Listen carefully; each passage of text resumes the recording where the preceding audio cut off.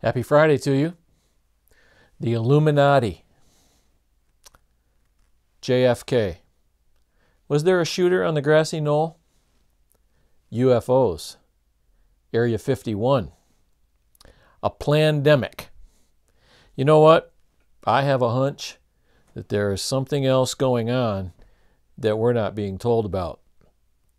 I do believe there is a conspiracy, and I believe it is bigger than the USA, and I believe that it has been going on for a long, long time.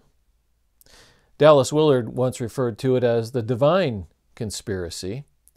The Apostle Paul referred to it in Ephesians chapter 3, verse 6, as the mystery. He said, This mystery is that through the gospel, the Gentiles, Gentiles, that's us, are heirs together with Israel, members together of one body, and sharers together in the promise in Christ Jesus. wow, that means we're in. We're in with God's people because we are God's people.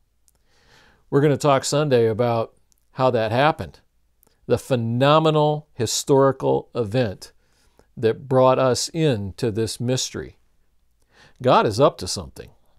I'm telling you right now, He is doing things that we cannot possibly imagine.